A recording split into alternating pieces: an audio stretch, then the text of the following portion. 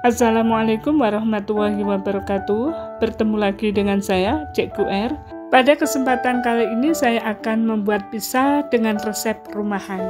Dengan hasil yang memuaskan karena ternyata pizza ini sangat disukai oleh semua anggota keluarga.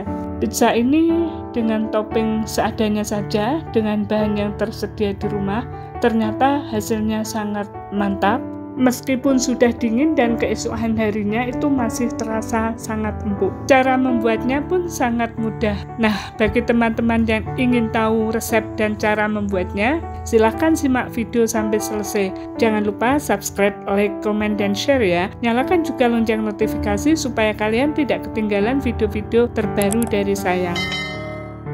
Siapkan wadah dan masukkan satu sendok makan gula pasir.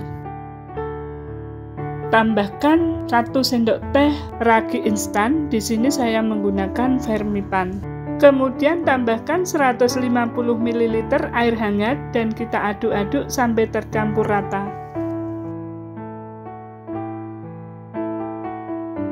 Tutup bahan biang ini dan tunggu sejenak. Sambil menunggu bahan biang mengembang, saya siapkan bahan kering untuk membuat adonan pizza. 300 gram tepung terigu protein tinggi ditambah 1 sendok makan susu bubuk. Tambahkan juga seperempat sendok teh garam. Kemudian kita aduk-aduk supaya tercampur. Tanpa menunggu lama, setelah 10 menit adonan biang sudah mengembang. Ini menandakan kalau ragi yang kita gunakan masih aktif dan bisa digunakan untuk membuat adonan. Dengan bantuan ayakan, masukkan bahan kering ke dalam biang.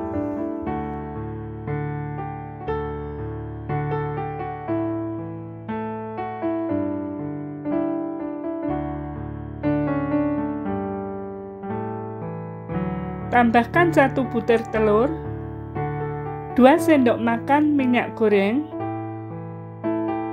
kemudian kita aduk sampai semua bahan tercampur rata.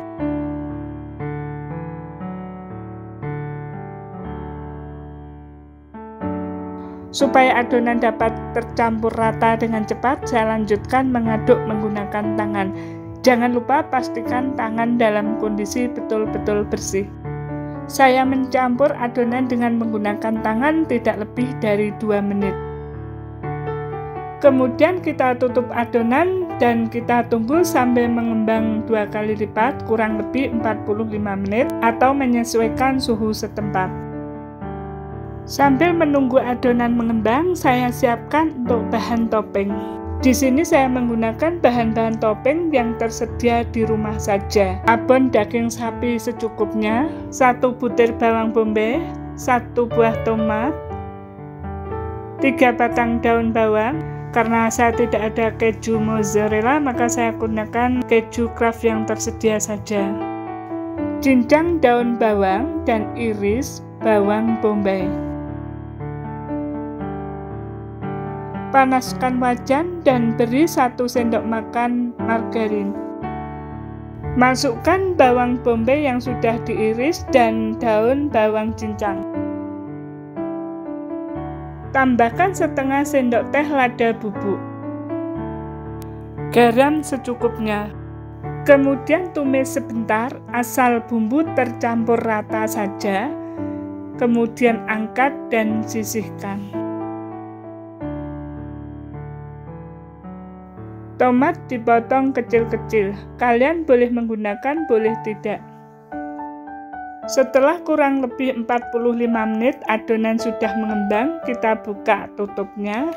Oleskan sedikit minyak di tangan dan kita ambil adonan dari wadah. Di sini kalian bisa melihat bahwa adonan yang dihasilkan sangat lembut meskipun tidak menggunakan mixer dan tanpa diulen. Letakkan adonan di alas kerja yang sudah ditaburi tepung. Kita tepuk-tepuk sebentar untuk menghilangkan gas yang terperangkap dalam adonan. Bulatkan adonan.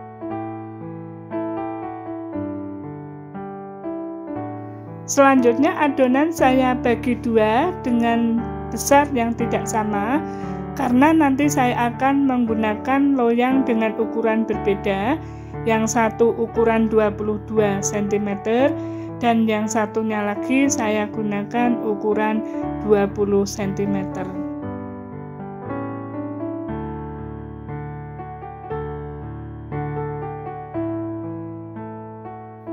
lebarkan adonan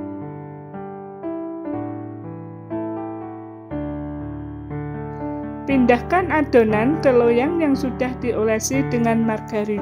Karena saya menghendaki pizza yang pertama lebih empuk dan tebal bagian tengahnya, maka tidak saya tusuk-tusuk dasar pizza dengan menggunakan sendok garpu. Jadi pizza langsung saya topping. Oleskan saus pada dasar pizza secara merata. Taburkan bawang bombay dan daun bawang cincang yang sudah ditumis.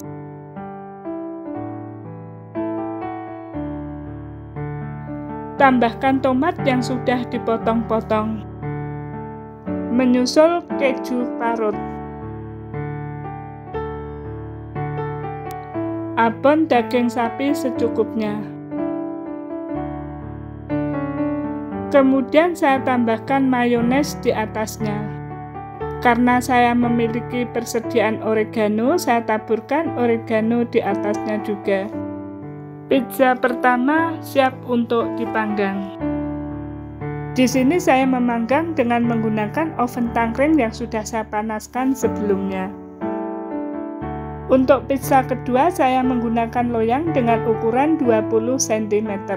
Karena saya menghendaki pizza yang kedua tengahnya lebih crispy, lebih garing, saya tusuk-tusuk pakai sendok garpu pada dasar pizza.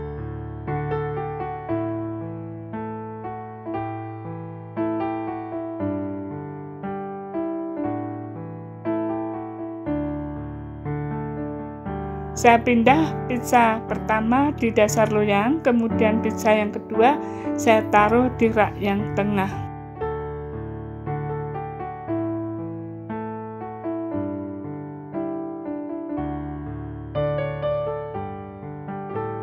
Setelah kurang lebih 45 menit, pizza saya angkat. Untuk waktu pemanggangan, silahkan kalian sesuaikan dengan api dan jenis oven yang digunakan. Jika kalian menghendaki tepi pizza tidak terlalu kering dan pucat, maka sebelum di oven kalian bisa mengoleskan minyak dan kuning telur.